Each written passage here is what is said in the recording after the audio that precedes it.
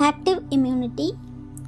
Active immunity is a type of immunity that develops when a person's immune system is exposed to a pathogen, such as bacteria or viruses, and produces its own antibodies and memory cells in response.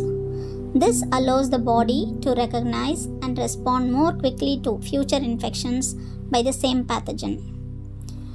Active immunity can occur in two ways natural active immunity.